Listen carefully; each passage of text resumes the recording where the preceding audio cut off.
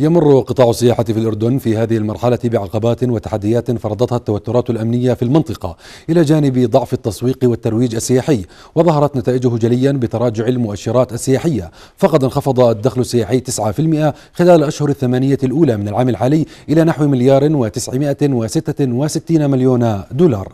التقرير التالي يسلط الضوء على أهم التحديات التي تواجه القطاع.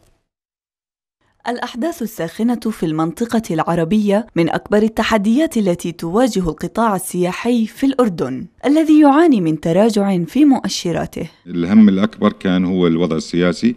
إحنا آه، صحيح بلد آمن ومستقر لكن جزء من المنطقة فبالتالي آه، يعني مهما حاولنا أن أن آه، نساعد في في ترويج الأردن سياحيا أعتقد أنه الوقت يعني لا يسعفنا في أنه ننطلق بحملة كبيرة. ضعف حجم المخصصات لترويج الأردن سياحيا في دول العالم. تحد آخر يواجه القطاع. الآن الهيئة تعكف على تنفيذ خطة غير مسبوقة في الأسواق الأوروبية. بدأت الخطة تنفيذها في السوق البريطاني وألمانيا وفرنسا.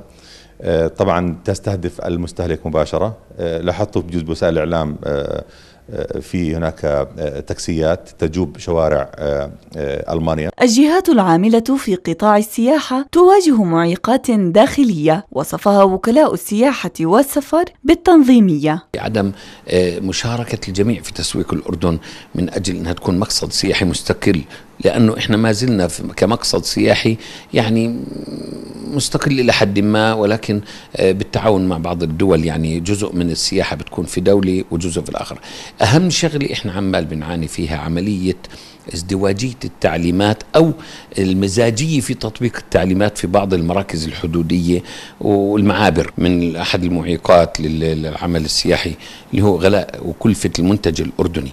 رغم التحديات التي تواجه القطاع السياحي إلا أن الأردن يشهد حركة جيدة من قبل السياح. So far we have good uh, good occupation and uh, we met some nice people yesterday evening in the Rainbow Street and they helped us a lot and it was very kind of them. So I think that Jordan is a very welcome country.